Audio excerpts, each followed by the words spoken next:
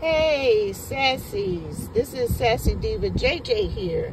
What's up, y'all? It's Tuesday in August. Um, thought I'd stop by to show you my scent of the day.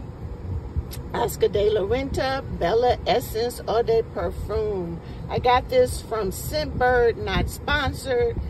And y'all, it's a really cute little, little girly fragrance. Um, berries, vanilla, rose, and musca. Comes in a real cute bottle. Um, I'm enjoying it today. I, um, you know, I'm wearing it. I'm enjoying it. It is my scent of the day. Excuse the nails. It's not a nail video. This is a perfume video. I'm doing a lot of work around my house.